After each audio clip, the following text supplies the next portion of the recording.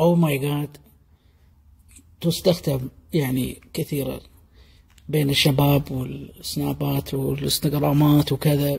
يعني لا صار موقف يقول oh my God حتى مثلا بالتعليقات يكتب oh my God مثلا. طيب. ليش يقولون oh my God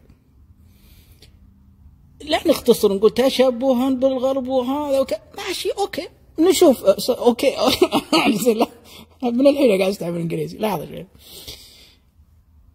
المقصد إنه ودنا نفهم ليش. اولا نرد للأصل. باللغة الإنجليزية القديمة أو هي أساسا نداء وكانت تكتب بدون الإتش على فكرة في الإنجليزية القديمة القديمة مو الحالية. حتى لما تسمعون مثلا لما أحد مثلا يدخل بيته يقول oh honey. honey عسل ينادي زوجته يقول honey عسل بس ليش قال oh honey؟ أو مثلا تقول له oh dear. لأن من الإنجليزية القديمة ال oh ترى مو معناتها الدهشه إحنا نظن إن oh my God يعني oh بمعنى انه انبهر فقال oh. لا ال oh من مصدرها الأساسي النداء. فهو موقف دعاء باللغة الإنجليزية. تمام؟ طيب ليش؟ تشبها بالغرب جواب جاهز صحيح سليم مية بالمية. نضيف عليه عوامل أخرى.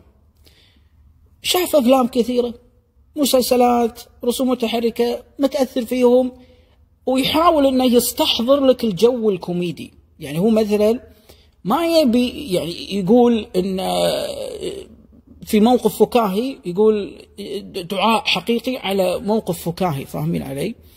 فهو يستحضر حالة الأفلام.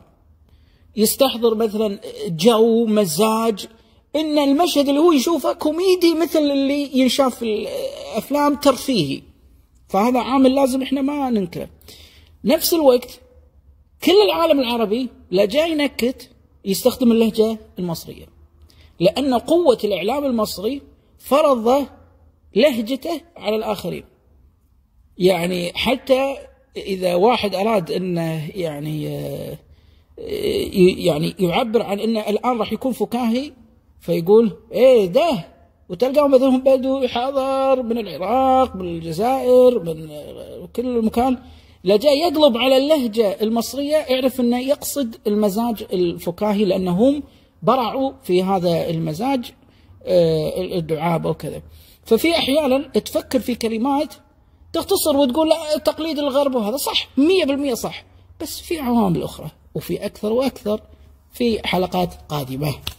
oh my God ما أعطيتني لايك